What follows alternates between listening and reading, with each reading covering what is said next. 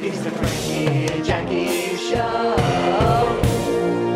Hello and welcome to the Frankie and Jackie Show. I'm Frankie. And I'm Jackie, and today we are talking about Suicide Squad, the reboot. That we're not supposed to know that the first one with Will Smith existed. Uh, ladies and gentlemen, if you will, look right here. I forgot he even existed in the. It's because he's out saving the world. No, it's because it was a horrible movie, and you can't really just remember anything but this.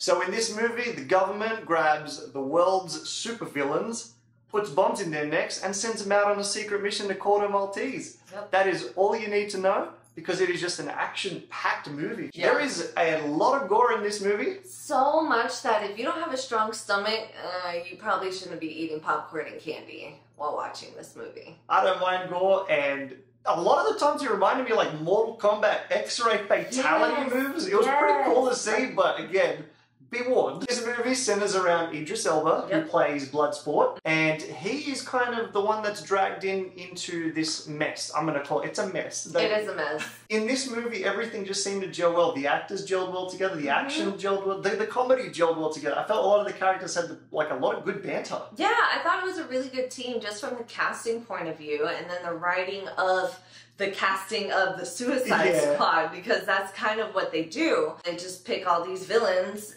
from jail and it's like, hey, you wanna knock off some time and do some things? That was an eclectic bunch too, like Mhm. random characters I, I I didn't even know existed. I like DC and Marvel, and I can definitely say I don't know every character. So it was really cool to see some brand new ones. Right, yeah, I can tell you I never heard of Polka Dot Man.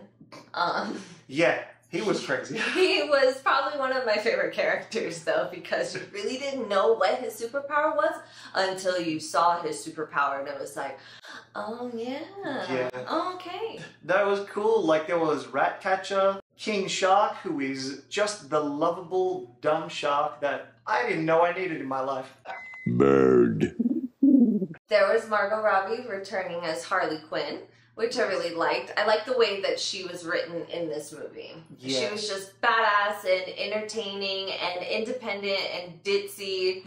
and I liked the costume choice that they went with this go round. Mm-hmm. She was fun. I liked her. There were some good characters that stole the show. Speaking of, John Cena makes a his debut in a DC movie. He does, and you know what? He fits right in just with like his overall aesthetic. They Mhm. gave him really tiny clothes to wear. yes. And he was okay with it because he knew that he had everything to show it off. There is one scene where you see like all of John Cena's Yes. physique.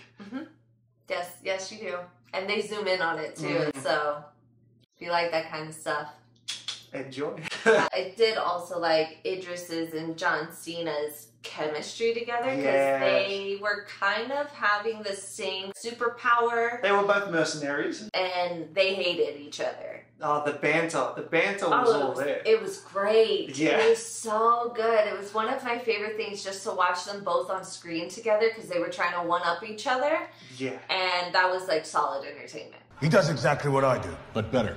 I always hit my targets dead center. Hit them more in the center. You can't hit something more in the center. I use smaller bullets. I mean, overall, I liked it. It had me laughing. Like, the Yeah. weasel probably had me laughing the most. King Shark for me.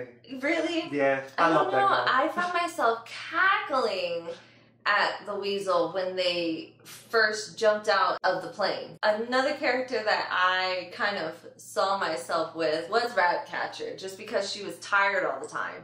And she would like Yeah. pass out, but like pass out to the point that if someone was lifting her up, she wouldn't even know. hmm And this one's got a superpower. I sleep in about one minute. Just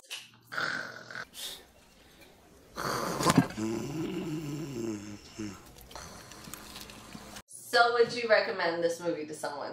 I would. It's a step up from the last movie. They've knocked it out of the park. It's been a while since they've had a win, I think. Yeah, yeah, Yeah. I agree with you on that. They needed this to elevate the DC universe. So yeah, to wrap it up, it's but two yeses from us to go watch it. Um, let us know in the comments what you think about it. Are you going to check it out? If you did, what are your thoughts? We'd love to read them. I don't have nothing else to say. cool. Well, until next time, we'll see you soon. Bye.